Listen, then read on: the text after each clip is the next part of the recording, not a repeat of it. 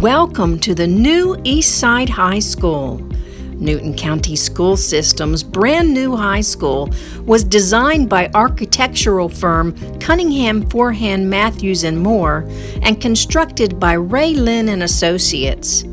Built to house 1,650 students, the school sits on approximately 107 acres of land at the intersection of Georgia Highway 142 and U.S. Highway 278 in eastern Newton County.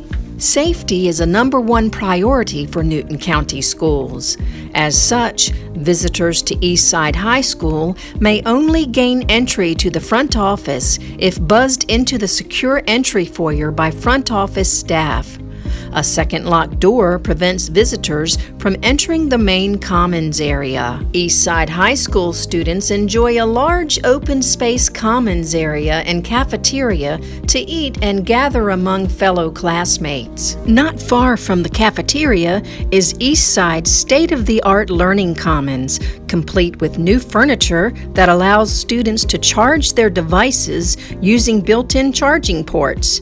The Learning Commons contains numerous periodicals and thousands of books, along with new technology equipment, including both a high definition projector system and a Promethean board. Eastside High School's 88 instructional units are also outfitted with brand new furniture, classroom camera systems, textbooks, computers, and more. Our new school boasts a full size gymnasium suitable for both physical education classes and competitive sports.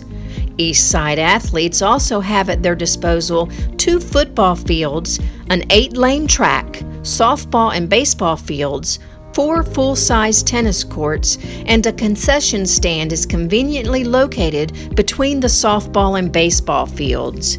Newton County residents can truly be proud of the new Eastside High School, which replaced the former school located on Eagle Drive.